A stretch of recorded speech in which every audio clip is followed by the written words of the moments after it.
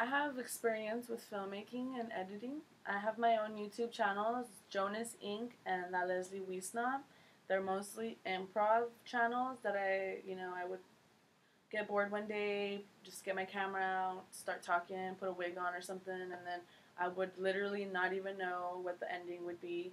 And I would just roll with it. I would get my friends involved, my sisters, and just like, come on, let's do this. And then, um, you know, when I met Brandon in high school, we um, it was a broadcast journalism class, so that was definitely something different. I had to have something done at a certain time, a certain time frame.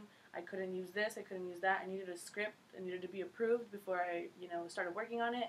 So that really um, it molded me a little more into like, okay, this makes it easier when you're editing. You can't just jump into it and then not know what you're doing in the end.